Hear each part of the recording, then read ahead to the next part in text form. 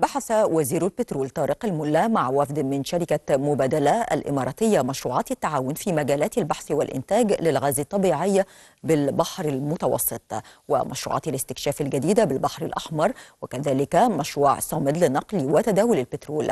تناول اللقاء بحث آفاق تعظيم مجالات التعاون والفرص الاستثمارية والمشروعات التي يمكن أن تشارك فيها الشركة الإماراتية في ظل اهتمامها بضخ استثمارات جديدة بمجالات الطاقة في مصر.